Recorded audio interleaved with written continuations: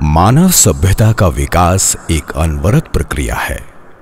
अपने आप को बेहतर बनाने का यह सिलसिला आज तक जारी है। आदमी की इसी फितरत का बेहतरीन नमूना है। जयपुर।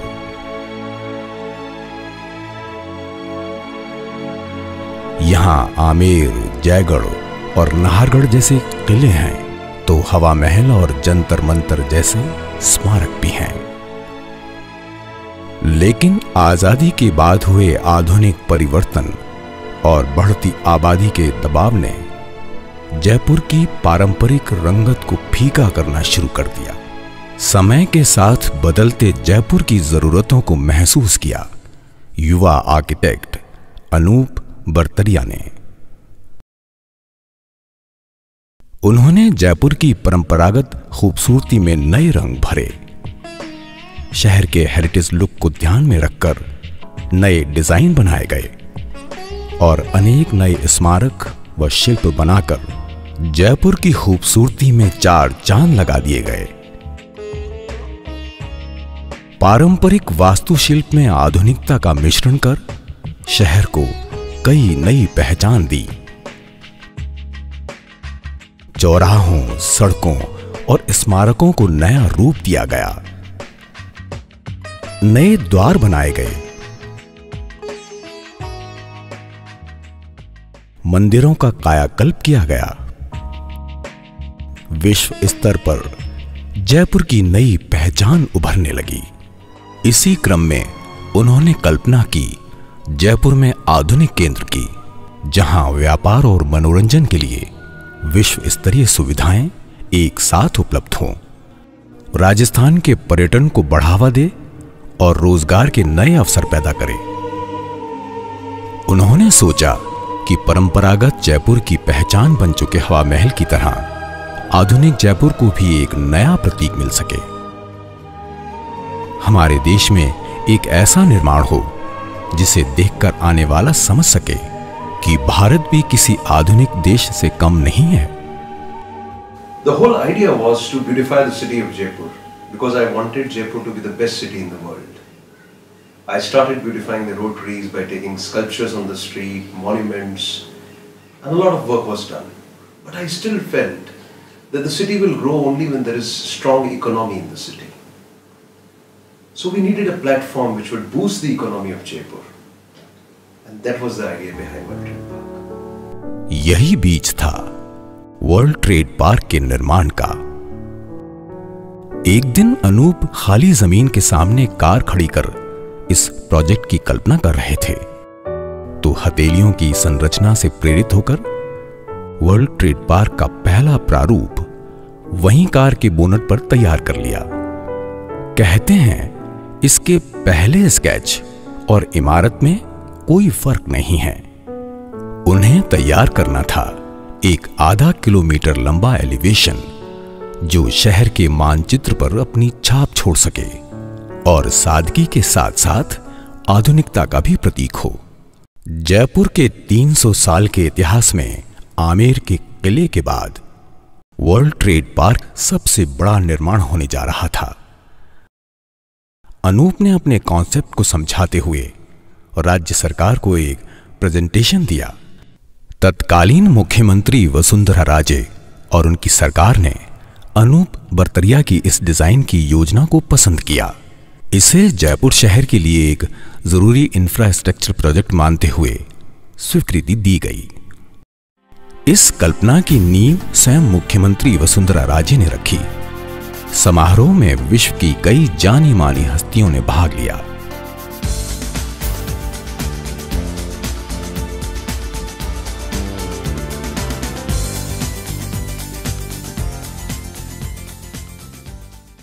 इसके निर्माण की ज़िम्मेदारी देश की सबसे बड़ी निर्माण कंपनी, शाहपुर जी, पालोन जी को दी गई। पहली बार 150 मीटर की क्रेन को जयपुर लाया गया। हज़ारों लोगों के सतत प्रयास से इस कल्पना को मूर्त रूप दिया गया।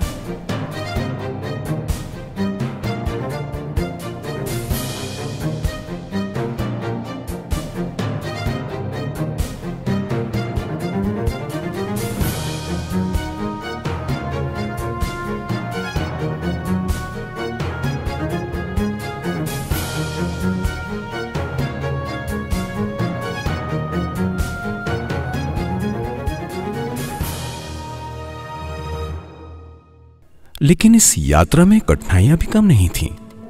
निर्माण की आर्थिक जिम्मेदारियों के साथ साथ कानूनी लड़ाई भी लड़नी पड़ी। प्रोजेक्ट के लेट होने से प्रोजेक्ट पर आर्थिक भार पड़ गया। चुनौती सिर्फ़ यहीं तक सीमित नहीं थी। पब्लिक इंटरेस्ट, लिटिगेशन और कई लोगों ने प्रोजेक्ट को नुकसान पहुँचाने की कोशिश की। परंतु माननीय हाई कोर्ट और माननीय सुप्रीम कोर्ट ने डब्ल्यूटीपी की सच्चाई पर मोहर लगा दी।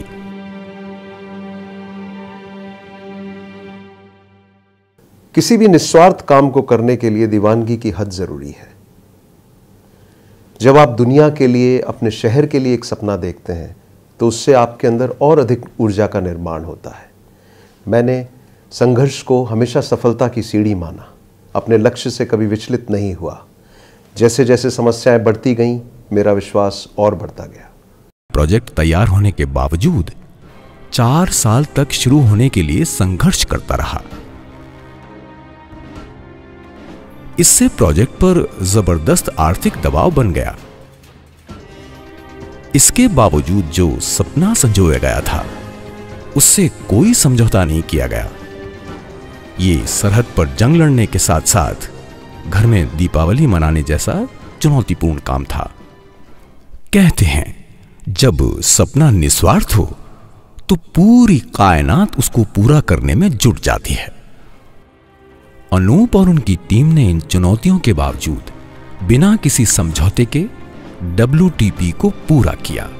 ये सक्षमता थी इस प्रोजेक्ट की, जो अपने आप स्वयं रास्ता बनाता गया। इस दौरान इंटरनेशनल माफिया और जान से मारने की धमकियों तक का सामना करना पड़ा। इसके बाद भी उनका जुनून कम नहीं हुआ। काम चलता रहा, संघर्ष जारी रहा। ये जुनून की पराकाष्ठा थी। World Trade Park.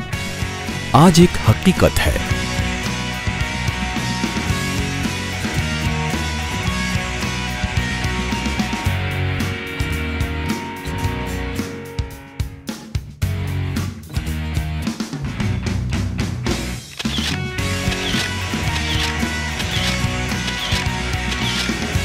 बारह लाख छियासठ हज़ार वर्ग फुट एरिया पर बनी इस बिल्डिंग में दस हज़ार टन लोहा लगाया गया, बत्तीस हज़ार टन सीमेंट का उपयोग किया गया।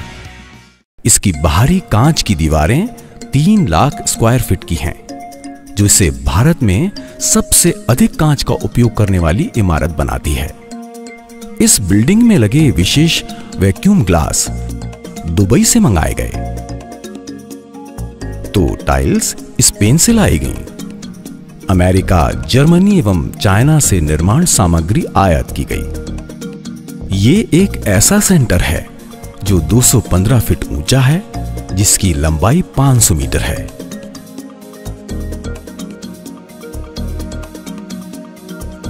वर्ल्ड ट्रेड पार्क के सामने के आर्किटेक्चरल फीचर्स कौतूहल का विषय बन गए। कोई नए रूट्स कोई ऑक्टोपस और कोई स्पाइडर से तुलना करने लगा। यहाँ राजस्थान का सबसे बड़ा मैन मेड टावर स्थापित किया गया। वर्ल्ड ट्रेड पार्क आज भारत की ही नहीं, दुनिया की नायाब बिल्डिंग्स में से एक है। इस बिल्डिंग के डिज़ाइन ने अपनी अनूठी छाप छोड़ी।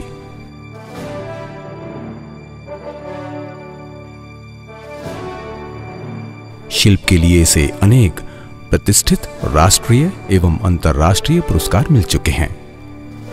वर्ल्ड ट्रेड पार्क ने best architect best building mall of the year best food court आदि अवार्ड अर्जित किए।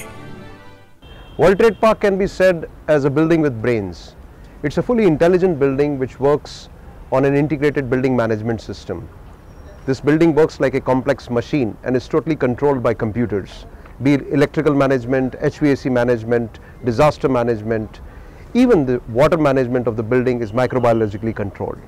We have tried our level best to give the quality engineering service to our customers. आजकल की आधुनिक इमारतें मात्र बिल्डिंग नहीं एक कॉम्प्लेक्स मशीन होती हैं वर्ल्ड ट्रेड पार्क भी एक ऐसी ही नायाब मशीन है इसे पूर्णतः भारत में बनी पहली इंटेलिजेंट रिटेल बिल्डिंग कहा जा सकता है, जो आईबीएमएस से कंट्रोल की जाती है। हवाई जहाज़ के कॉकपिट की तरह, एक ही स्थान पर पूरी बिल्डिंग के सभी सिस्टम्स को संचालित किया जाता है। इलेक्ट्रिकल प्लांट रूम एक छोटे शहर के बिजली घर के बराबर है। यहाँ 4000 टन का एसी प्लांट टेम्परेचर कंट्रोल करता है।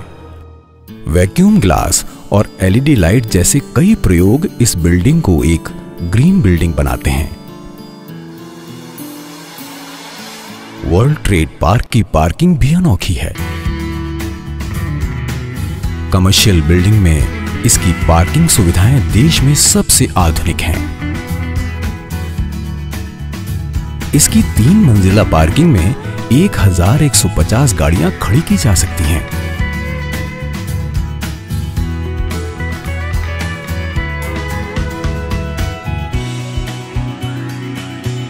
ये पार्किंग कंप्यूटर द्वारा संचालित है।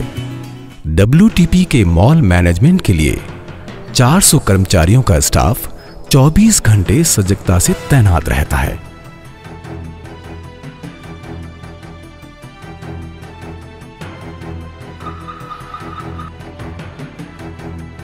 यहाँ के हाउसकीपिंग और सिक्योरिटी स्टाफ भी अपने आप में एक उदाहरण है।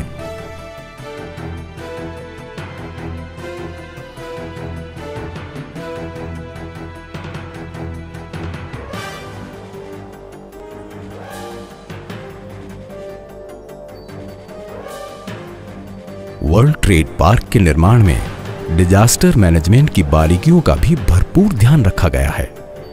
आग, भूकंप, भगदड़ और आतंकवाद जैसी सभी संभावनाओं से कुशलतापूर्वक निपटने के समुचित और आधुनिक उपाय किए गए हैं। ये बिल्डिंग भारत सरकार की गृह मंत्रालय की डिजास्टर मैनेजमेंट ड्रिल पर भी खरी उतर चुकी है।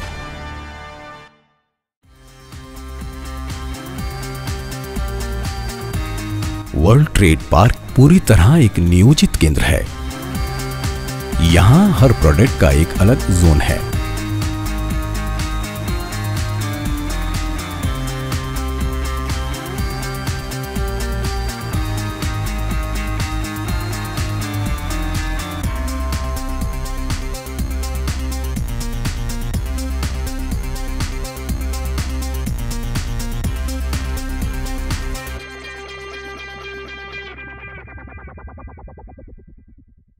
Interiors have become a very important part of any building, especially in malls, where people don't only come for shopping but also come for having an experience. To enhance their experience, we have given different design to the various streets of World Trade Park, which takes them to different world and different civilizations. I certainly believe that this sort of artful interiors has made World Trade Park something different in all the malls in the world. एक आधुनिक और नायाब building का interior design भी अपने आप में नायाब होना चाहिए। इसे ध्यान में रखते हुए अनूप ने इस बिल्डिंग का इंटीरियर डिज़ाइन तैयार किया।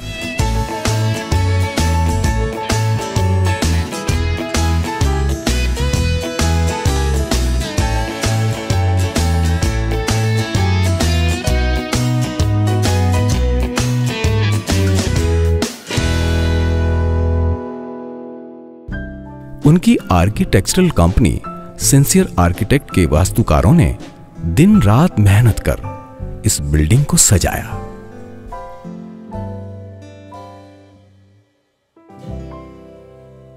बिल्डिंग के नॉर्थ ब्लॉक को गोल्डन थीम पर बनाया गया है।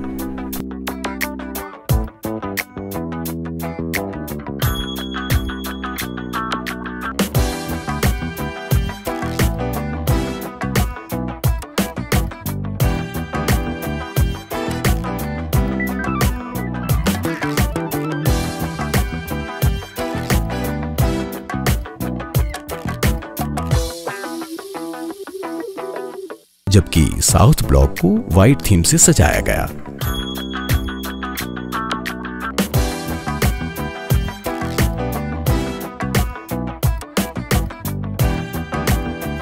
इसी तरह शॉपिंग एक्सपीरियंस को बेहतर बनाने के लिए, मॉल के कॉरिडोर को विश्व की अलग अलग सभ्यताओं के अनुसार बनाया गया। जैसे Roman street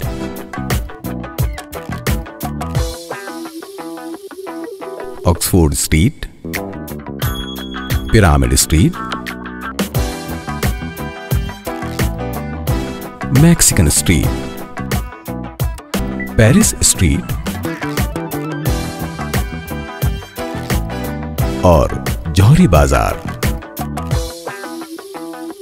हर स्ट्रीट का अलग इंटीरियर अपने आप में एक टूरिस्ट डेस्टिनेशन है।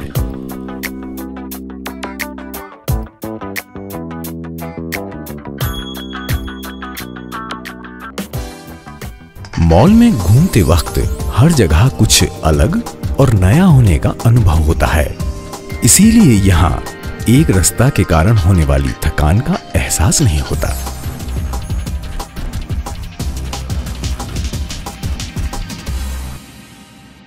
ये प्रयोग भी दुनिया में पहली बार किसी मॉल में किया गया। बिल्डिंग के अंदर केवल कमर्शियल इंटीरियर ही नहीं किया गया, बल्कि डिज़ाइन को आर्ट के साथ भी जोड़ा गया।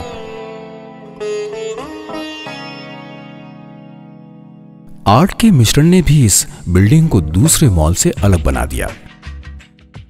अनूप ने खुद इसके विशेष स्कल्पचर डिज़ाइन किए, जैसे भूत, भविष्य और वर्तमान को एक साथ रेखांकित करता हुआ sculpture Anant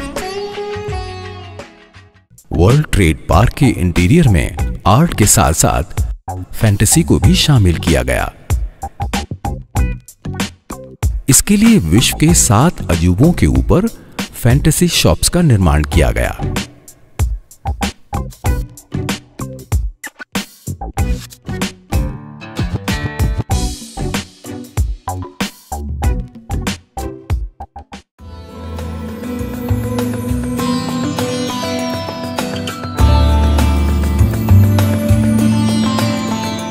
world trade park का फ़ूड कोर्ट जयपुर का बेहतरीन टूरिस्ट डेस्टिनेशन है। इसका फ़ूड कोर्ट हर बार एक नया अनुभव कराता है।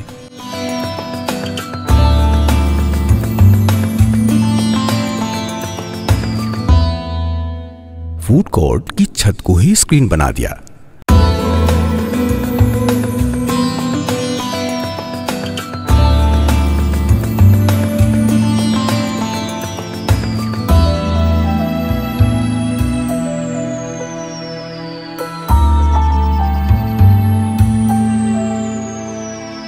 ये दुनिया में इस तरह का पहला प्रयोग था।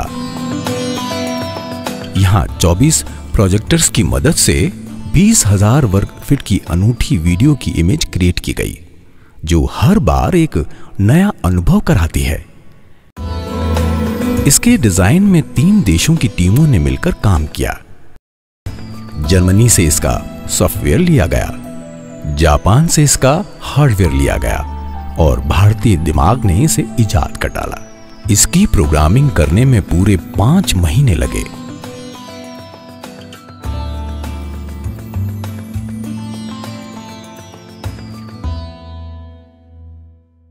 हमारे सामने चुनौती थी कि बड़े बड़े इंटरनेशनल ब्रांड्स को कैसे जयपुर लाया जाए। सबसे पहले हमने लोगों को कन्विंस किया कि जयपुर विश्व के किसी भी आधुनिक शहर से कम नहीं है और जयपुर वासी एक इतना बढ़िया मार्केट उन ब्रांड्स को प्रदान करेंगे जिससे उनका यहाँ आना सार्थक होगा।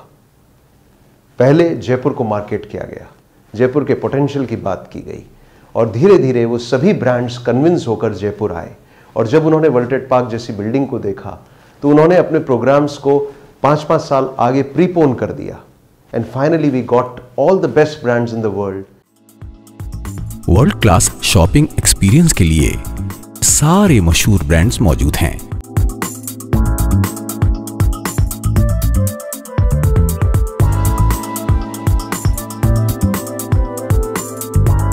कई नामी ब्रांड्स ने भारत में अपनी शुरुआत के लिए जयपुर के वर्ल्ड ट्रेड पार्क को चुना। आज World Trade Park product promotion का प्राइम डेस्टिनेशन बन चुका है। देश विदेश से स्टार यहाँ मॉल प्रमोशन के लिए आते हैं।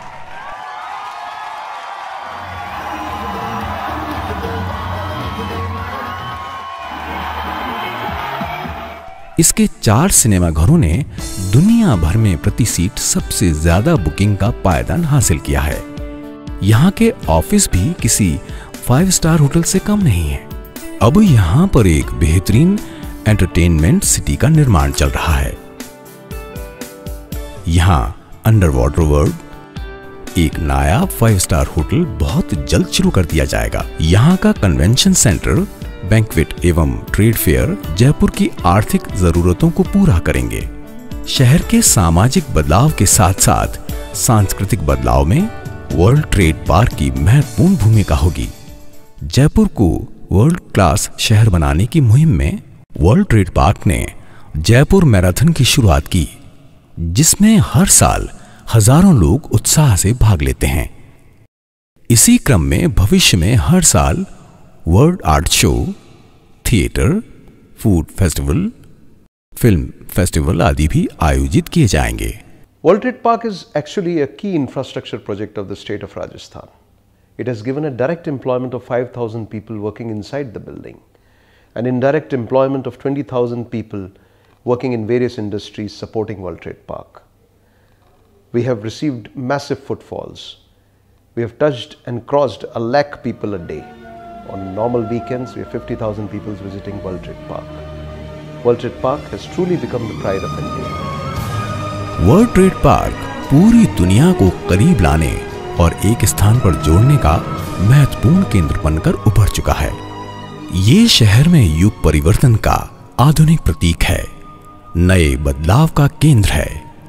एक सामाजिक बदलाव की पहल है और एक आर्थिक बदलाव की शुरुआत है जो जीवन शैली में बदलाव लाने के साथ साथ जयपुर के लुक और स्काईलाइन को भी बेहतर बनाती है। अब स्वदेशी ही नहीं विदेशी पर्यटक भी खरीदारी करने वर्ल्ड ट्रेड पार्क आने लगे हैं. सबसे बड़ी बात यह है वर्ल्ड ट्रेड पार्क में आने वाला हर व्यक्ति, चाहे वो विदेशी हो या देशी डब्ल्यूटीपी से प्यार करने लगता है। अमेरिका के कॉमर्स मिनिस्टर जब वर्ल्ड ट्रेड पार्क पधारे तो उनके मुँह से अनायास ये निकल गया। ऐसा सेंटर उन्होंने दुनिया में पहले कभी नहीं देखा। वर्ल्ड ट्रेड पार्क आज प्राइड ऑफ़ इंडिया कहा जाने लगा है। सदी के महानायक अमिताभ बच्चन ने डब्ल्यू का फ़ोटो खींचकर अपने ब्लॉग में लिखा कि डब्ल्यू की खूबसूरत बिल्डिंग भारत की प्रगति का प्रतीक है। वर्ल्ड ट्रेड पार्क के निर्माण ने जयपुर में एक सामाजिक बदलाव की शुरुआत की है। डब्ल्यू ने पूरी दुनिया में जयपुर की प्रतिष्ठा का परचम लहराया है और जो गर्व से कह रहा है कि जयपुर में आर्ट, कल्चर और हेरिटेज तो था ही। अब जयपुर आधुनिकता में भी किसी से पीछे नहीं है।